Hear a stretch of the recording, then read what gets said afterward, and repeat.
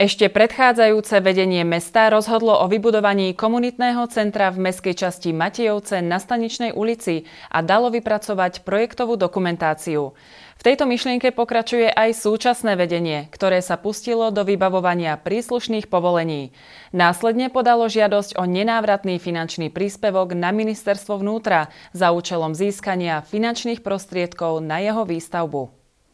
Plánovaná výstavba komunitného centra v meskej časti Matejovce na Staničnej ulici má viacero nezodpovedaných otázok, na ktoré apelujú obyvatelia tejto meskej časti. Čo vlastne mesto ide robiť? Ide stavať to komunitné centrum a ako bude zabezpečené jeho ďalšie fungovanie, alebo ide zmeniť územný plán na to, aby tu boli byty. Pretože momentálne e, táto plocha v územnom, terajšom územnom pláne e, povoluje komunitné centrum. Čiže vlastne v podstate e, my Matevčania alebo obyvateľia aj tu na Staničnej vlastne nevedia, hej, že čo sa tu bude reálne diať. Čo sa týka výstavby komunitného centra, tak mesto ako investor požiadalo príslušný stavebný úrad, ktorým je mesto Vysoké Tatry, o vydanie územného rozhodnutia a stavebného povolenia na samotnú stavbu komunitného centra a taktiež prístupovej komunikácie a spevnených ploch, ktoré sú súčasťou komunitného centra. Vzhľadom na to, že okruh účastníkov e, konania bol vymedzený, tak ako stavebný zákon e, hovorí, došlo k situácii, že niektorí z účastníkov konania sú nebohy. Bolo potrebné oznamovať eh, aj tým eh, potenciálnym dedičom začatie týchto dvoch konaní a udialo sa tak samozrejme verejnou vyhláškou, tak ako nám stavebný zákon hovorí. To znamená, že aj obyvateľia Matejoviec mohli mať vedomosť o tom, že takéto konanie na stavebnom úrade v meste Vysoké Tatry prebieha. Táto vyhláška bola zverejnená 24. maja 2020 2019 na úradnej tabuli mesta Poprad a taktiež na e, webovom sídle, to znamená na internetovej stránke mesta. Ak je to takto, ako si my všetci myslíme, že komunitné centrum vlastne tu bude bez škôlky, tým pádom nemá žiadne opodstatnenie. Zároveň koncom mája bol začatý proces e, čiastkovej zmeny územného plánu, ktorý sa dotýka e, jednej parcely vo vlastníctve mesta a časti parcely, na ktorej sa nachádza v súčasnosti dočasné bývanie a je na navrhované komunitné centrum. Táto plocha je dnes e, definovaná ako šťastie občianská vybavenosť, ktorá tam aj ostáva a súčasťou tejto občianskej vybavenosti je komunitné centrum a do budúcna aj e, uvažujeme o škôlke. E, časť plochy z výroby služieb a občianskej vybavenosti vo vlastníctve mesta sa mení na plochy sociálneho bývania. Komunitné centrum, žiadne informácie ohľadne toho neboli vyvesené na Mestskom úrade.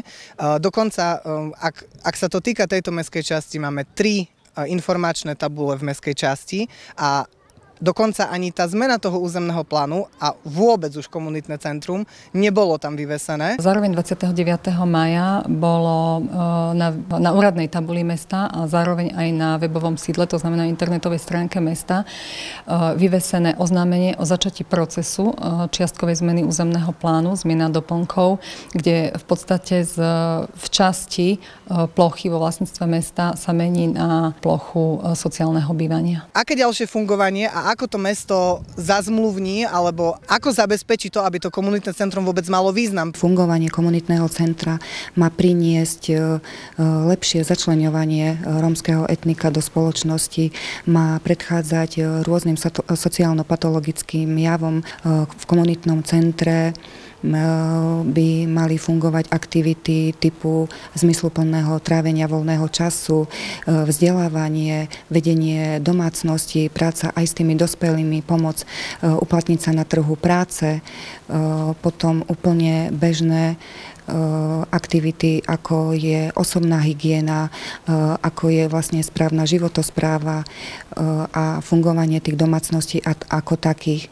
My vnímame komunitné centrum, eh, že by mohlo byť eh, ďalším našim nástrojom, ktorým by sme len upevnili tie naše pozitíva, ktoré máme s, tou, s prácou s touto romskou komunitou. Výkonom Inštitútu osobitného príjemcu sme dosiahli naozaj to, že nemáme žiadnu domácnosť, žiadnu rómskú rodinu, ktorá by mala nejaké pozdĺžnosti voči mestu, či už je to na komunálnom odpade alebo na nájomnom. No, neviem, či existuje nejaký legislatívny možnosť na vyvrátenie alebo potvrdenie tvrdenia vedenia mesta, že byty, ktoré, na ktoré sa mení ten územný plán v tom procese EIA, ktorý je momentálne teraz, bude len pre obyvateľov Staničnej ulice. Keďže tým sociálnymi sieťami sa šíria rôzne informácie o tom, že mesto plánuje presťahovať obyvateľov iných mestských častí do mestskej časti Matejovce na Staničnú ulicu, primátor mesta Anton Danko sa rozhodol, že zvoláme zhromaždenie obyvateľov